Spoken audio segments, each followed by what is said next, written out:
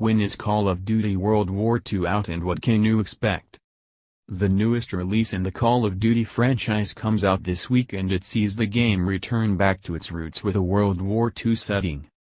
As well as the overall look of the game, many of the gameplay functions return to some that are more familiar with older fans of the game.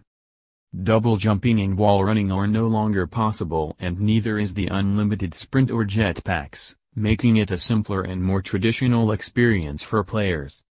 Its single-player campaign will mostly be set between 1944 and 1945, with the chance to experience some of history's most famous battles.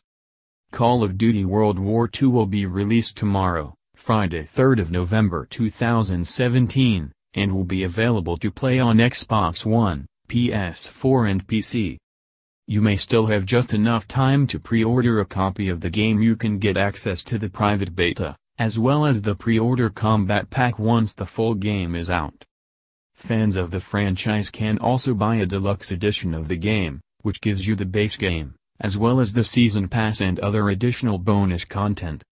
The single-player story sees you play as two young soldiers in the U.S. 16th Infantry Regiment during various iconic periods of World War II. Players will experience key World War II battles including the D-Day landings and the Battle of the Bulge. Gamers will be able to play across three game modes, campaign, multiplayer, and cooperative.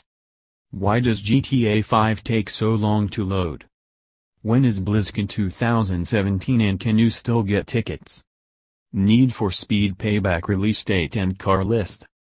The cooperative part of the game has promised to be a new and original story in a standalone game experience full of unexpected, adrenaline-pumping moments. It has been confirmed that the popular Nazi zombie mode will also be in the game and will see players go through a snowy Bavarian village in Mittelburg, Germany. With the aim of recovering stolen artwork, gamers are warned that the village holds a shadowy secret key to an unimaginable and monstrous power. More, Games Inbox, Star Wars, Battlefront 2 changes, Assassin's Creed Origins bugs, and PlayStation in concert. More, Games Inbox, The Last of Us Part 2 Violence, Assassin's Creed Origins Praise, and Square